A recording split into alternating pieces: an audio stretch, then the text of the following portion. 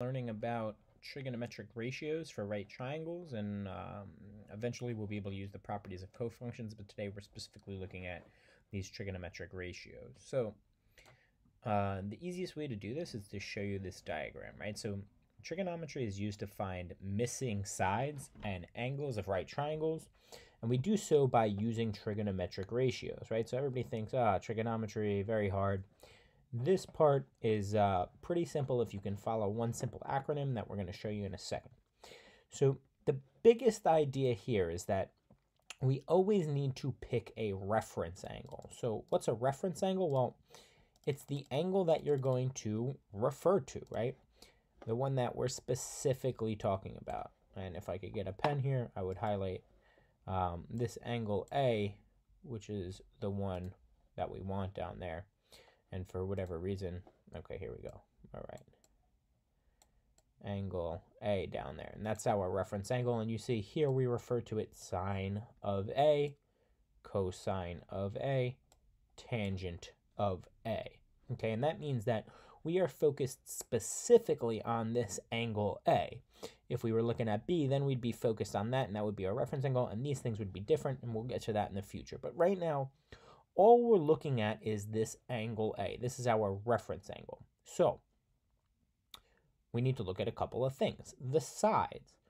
Adjacent, right? That means next to. So adjacent means next to. So obviously this angle, right, A, is next to this side AC. So that would be my adjacent side.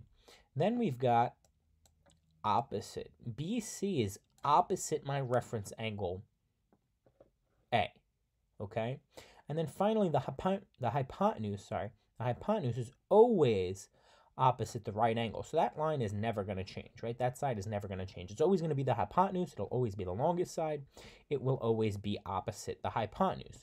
So we've got these ratios set up, okay? And it says sine of A is going to be equal to opposite over hypotenuse, which would be BC over the hypotenuse, AB there, so imagine we have values, you'd plug the values in for that, and that would give you whatever your angle is, your sine of angle A is. Okay, then we're looking at adjacent over hypotenuse for cosine of A. Well, the adjacent, right, we know with our reference angle A is AC. Over the hypotenuse again, hypotenuse is always that AB. Okay, now we're looking at tangent of A. Well, that's the opposite, back to BC. And then we've got it over adjacent, which is AC. All right. And there's a cool little saying that we use to remember this, and it's SOHCAHTOA. And the reason we say SOHCAHTOA is because, well, its sine is opposite over hypotenuse, cosine is adjacent over hypotenuse, and tangent is opposite over adjacent. So sine is opposite over hypotenuse, just like we have up here. Cosine is adjacent over hypotenuse, again, just like we had there. And tangent is opposite over adjacent. And this is what we use to remember all of these ratios. So SOHCAHTOA, okay? So let's just apply this, okay? Because it's not more than that. So it says in the diagram below, we've got this triangle and it says what represents the sine of u. So again, we've got sine of u, and up here I'm going to write my SOHCAHTOA so I can use it for all of these things, right? So, ka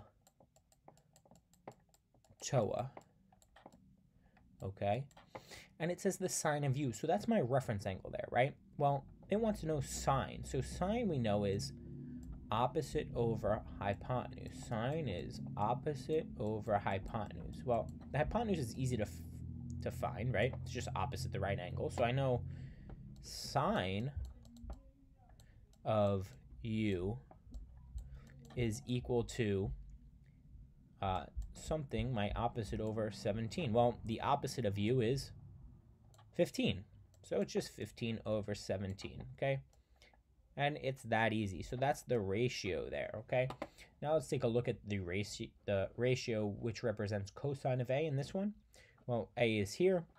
It wants cosine. Cosine is adjacent over hypotenuse, okay? cosine of A, well, I'm looking at A, what's adjacent? 5, that's next to it. Okay, so I've got 5 over my hypotenuse is 13.